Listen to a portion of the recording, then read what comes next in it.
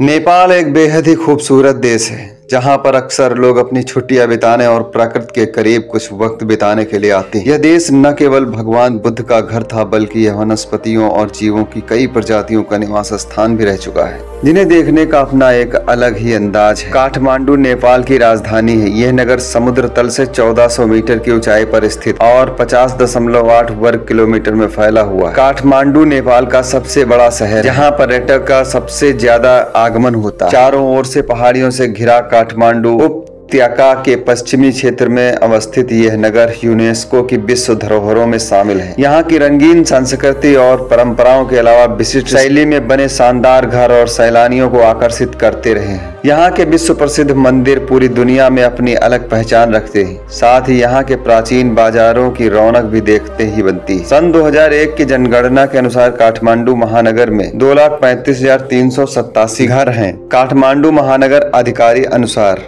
इस नगर में करीब दस लाख इक्यासी हज़ार आठ सौ पैतालीस लोग रहते हैं। इस नगर के तीन प्रमुख जातियाँ नेवार खस ब्राह्मण और खस क्षेत्री। इस नगर की भाषा नेपाली व नेपाल भाषा है। इस नगर के प्रमुख धर्म हिंदू और बौद्ध धर्म नेपाल के बारे में जानने के लिए बस इतना ही नहीं। यकीनन इस स्थान की प्रकृति सुंदरता हर किसी को मंत्र मुग्ध कर देती लेकिन इसके साथ साथ इस देश से जुड़े कुछ फैक्ट्स और भी अधिक अचंभित करते हैं। तो चलिए आज इस वीडियो में हम आपको नेपाल से जुड़े कुछ इंटरेस्टिंग फैक्ट के बारे में बताने जा रहे हैं जो यकीनन आपको बहुत पसंद आने वाले हैं। नेपाल एक ऐसा देश है जहाँ पर कई पर्वत चोटियाँ स्थित हैं। सबसे अधिक आश्चर्यजनक बात यह है कि पूरे विश्व की 10 सबसे ऊँची पर्वत चोटियों में से आठ नेपाल में ही हैं। इसमें 8,848 मीटर की ऊंचाई वाला माउंट एवरेस्ट भी शामिल है। आमतौर पर नेपाल के पर्वत हमेशा ही दुनिया में लोगों को आकर्षित करते रहे हैं। हालाँकि बहुत कम लोग जानते हैं कि नेपाल ऊंचाई और गहराई दोनों में एक बेहतरीन क्षेत्र है। यहाँ पर 4,375 मीटर की गहरी काली खंडकी घाटी है। इसे दुनिया की सबसे गहरी घाटी के नाम से जाना जाता है। ये घाटी काली गंडकी नदी द्वारा बनाई गई थी। हम सभी अपना स्वतंत्रता दिवस बेहद ही हर्षोल्लास के साथ मनाते लेकिन नेपाल एक ऐसा देश है जहाँ पर स्वतंत्रता दिवस नहीं मनाया जाता। जी हाँ नेपाल दक्षिण एशिया के सबसे पुराने देशों में से एक है लेकिन फिर भी ये देश कभी किसी अन्य देश या साम्राज्य का गुलाम नहीं रहा। ऐसे में जब इस पर कब्जा नहीं हुआ तो आज़ादी का कोई सवाल ही नहीं उठता।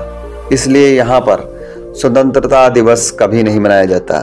लेकिन हाँ इस देश में 20 सितंबर को राष्ट्रीय संविधान दिवस ज़रूर मनाया जाता है।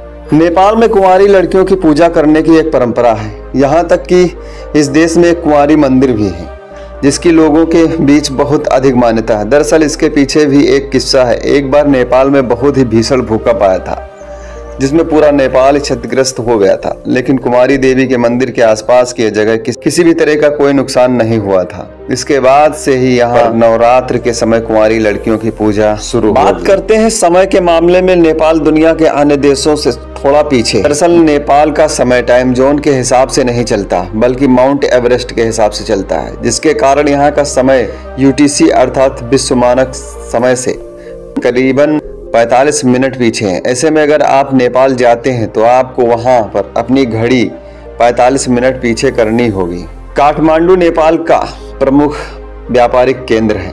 काठमांडू ऐतिहासिक काल से ही एक व्यापारिक नगर के रूप में स्थापित है। ऐतिहासिक काल से ही काठमांडू तिब्बत चीन व भारत से व्यापार करता है। व्यापार इस नगर का एक प्रमुख हिस्सा रहा है। नगर के अर्थतंत्र में पर्यटन का बड़ा प्रभाव है। नेपाल के ज़्यादा पर्यटक काठमांडू के त्रिभुवन अंतर्राष्ट्रीय विमान स्थल से नेपाल आते हैं। काठमांडू में पर्यटकों के घूमने देखने एवं वस्तु खरीदने के लिए पर्यटन उद्योग द्वारा विभिन्न सुविधा उपलब्ध है। नेपाल का त्रिभुवन अंतर्राष्ट्रीय विमान क्षेत्र। नेपाल का एकमात्र अंतर्राष्ट्रीय हवाई अड्डा है। यहाँ के लिए दिल्ली और बैंकॉक के रास्ते आसानी से पहुँचा जा सकता है। यहाँ मई सितंबर के बीच जाना बेहतर रहता है। नेपाल के भोजन की अगर बात करें तो यहाँ मांसाहार बेहद आम है। कई बार यह भी माना जाता है कि नेपाल के लोग चाउमीन या फास्ट फ़ूड ही खाते हैं। लेकिन यहाँ के पारंपरिक भोजन के रूप में दाल भात सबसे ज़्यादा खाया जाता है। दाल का तड़का यहाँ बेहद खास होता है, जिसमें मसालों का भरपूर इस्तेमाल किया जाता है। नेपाल और भारत के संबंध उनकी संस्कृति, भूगोल और आर्थिक महत्व के कारण बेहद अच्छे हैं। भारतीयों के लिए नेपाल जाना सबसे अच्छा है। उन्हें किसी भी तरह के वीज़ा या पासपोर्ट की ज़रूरत नहीं पड़ती।